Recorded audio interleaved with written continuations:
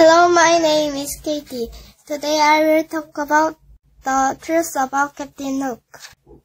Annie was a smart and brave seven years old. She lived in the town of Frog Creek, Pennsylvania with her brother Jack. Jack was ten years old. He liked to read books so he was even smarter than Annie. They were special and lucky children because they found the magic tree house. One day when they, they were walking in the woods, when they read about wonderful places in the in books, the magic tree house will take them there. One day Annie found Peter Pan on the magic bookshelf. She touched the book and said, I wish I could go to Neverland. The wind blew and the treehouse turned around and around, spinning faster and faster and finally slowing down. They arrived in the pretty forest of Neverland. They heard birds singing in the trees and saw monkeys swinging on the branches. Suddenly they heard a loud scream. Annie was curious, so she climbed down the ladder. Jack was not brave, but he followed Annie. They heard more screams, so they continued to follow. The screams were not far away now. It sounded like a young girl. They got closer and, and they could hear pirates yelling. Finally, they got closer enough to see.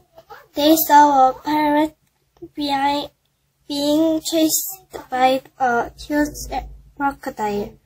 The sounds of the young were actually coming from a pirate captain. It must have been Captain Hook. Annie giggled and Jack chuckled. Annie fell over and started holding her belly because she was laughing so hard what a surprise that the scary pirate they read about was truly a woman.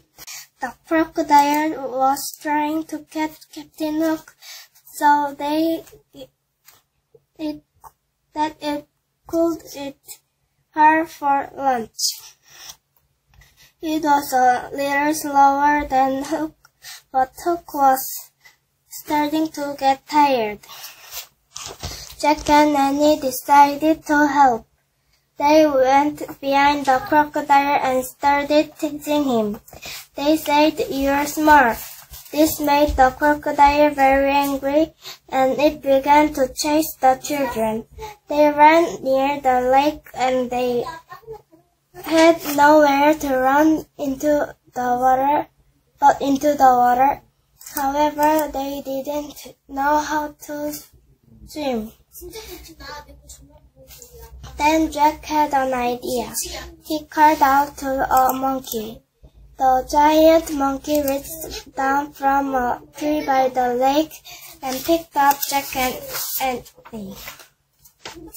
Then the monkey jumped down onto the crocodile's back. The scared crocodile ran quickly to the lake and swam away. Annie and Jack walked over to Captain Hook, who was very relieved. Thank you for saving me from the crocodile, she said. No problem, answered the children. Captain Hook gave them a golden watch as a thank you present. That night they ate a delicious dinner together on Hook's ship. After dinner, Captain Hook left and they are danced fun pirate dances into the night. Later, they returned to the treehouse and their home. But they had learned a lesson they would not forget. Some people are very different from how they seem, but characters may really be kind when they when we meet them. Thank you for listening to my presentation.